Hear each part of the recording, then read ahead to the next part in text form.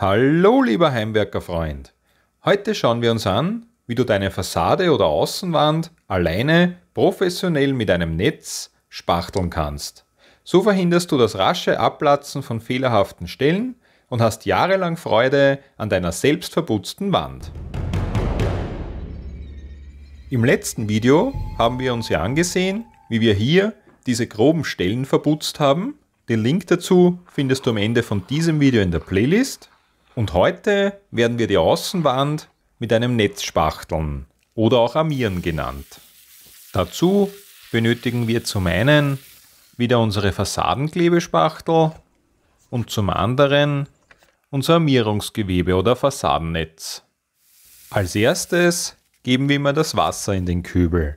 Ich empfehle dir eine professionelle Fassadenklebespachtel wie zum Beispiel diese hier in der Körnung grob oder mittel.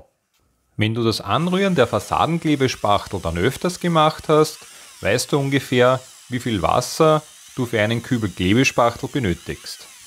Wenn du das zum ersten Mal machst, empfehle ich dir, einmal weniger Wasser zu nehmen und immer kleine Mengen von der Fassadenklebespachtel in den Kübel hineinzugeben und mit dem Farb- und Mörtelrührer umzurühren.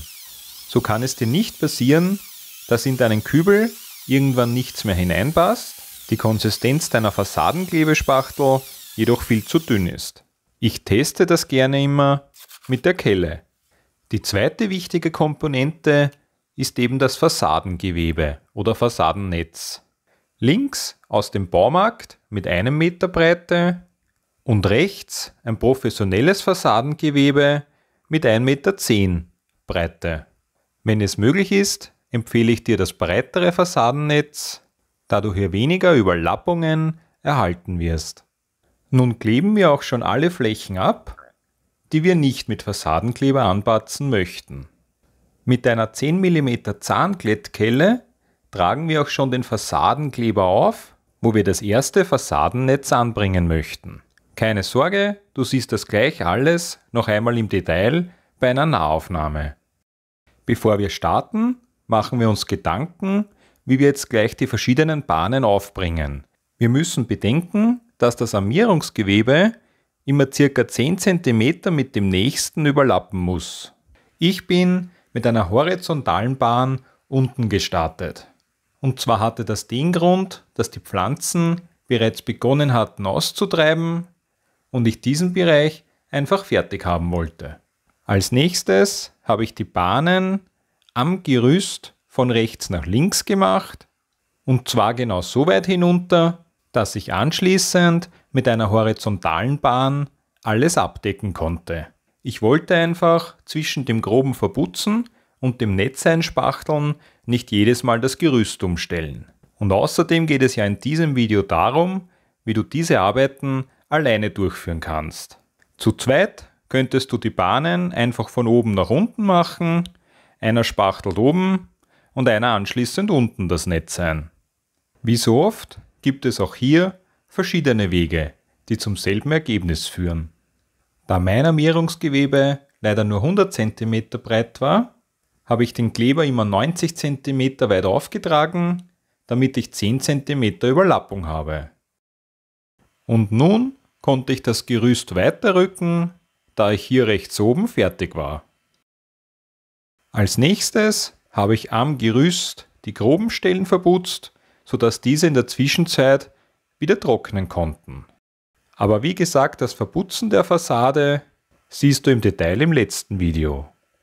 Wie versprochen, siehst du den Vorgang jetzt bei der zweiten horizontalen Reihe im Detail. Wir kleben also die angrenzende Fassade ab, feuchten die Wand und die Übergänge wieder ein wenig an, das kann nie schaden und halten das Fassadennetz an oder legen es am Boden auf und schneiden es ab. Jetzt tragen wir mit der 10 mm Zahnglättkelle die Fassadenklebespachtel auf.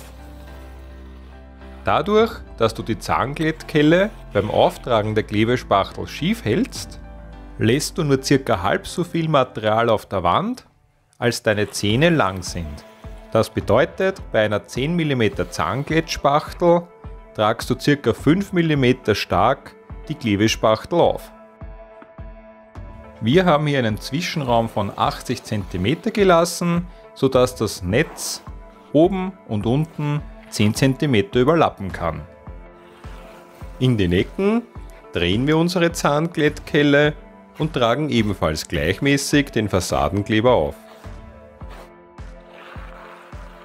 Nun legen wir das Fassadennetz an die Wand und fixieren es hier einmal mit der Glättkelle. Wenn du das Netzspachteln noch nicht allzu oft gemacht hast, empfehle ich dir hier eine glatte Glättkelle, das heißt ohne Zähne. Du wirst schnell merken, dass dieser Arbeitsschritt ohne Zähne leichter funktioniert, da du mit den Zähnen oft im Netz hängen bleibst. Wir glätten die Fläche so schön wie möglich und achten darauf, dass wir alle Falten beseitigen. Natürlich dürfen wir mit dem Netz auch nicht schief kommen. Achte hier auf jeden Fall darauf. Wenn dich diese Dinge rund um die Hausrenovierung interessieren, dann abonniere auf jeden Fall diesen Kanal. Sollte nun eine Klebespachtel auf eine angrenzende Wand oder ähnliches gekommen sein, kannst du sie ganz einfach mit dem Gartenschlauch wieder abwaschen. Sollte es jetzt Stellen geben, wo zu wenig Fassadenklebespachtel verfügbar ist, tragen wir erneut eine auf und glätten darüber. Wir glätten die Fläche so schön wie möglich. An den Übergängen und in den Ecken kannst du nochmals mit einem feuchten Pinsel darüber glätten. So erhältst du ein noch schöneres Ergebnis. Über Fenster oder Türen lege ich immer zusätzlich ein zweites Fassadennetz ein. Und zwar versetzt um 45 Grad. So verhinderst du etwaige Risse, die an diesen Stellen oft entstehen. Wie das hier bei den Ecken der Fenster funktioniert, siehst du im Video Kantenschutz anbringen. Auch dieses findest du am Ende von diesem Video in der Playlist. Genauso habe ich das jetzt auch weiter bei der restlichen Außenwand gemacht.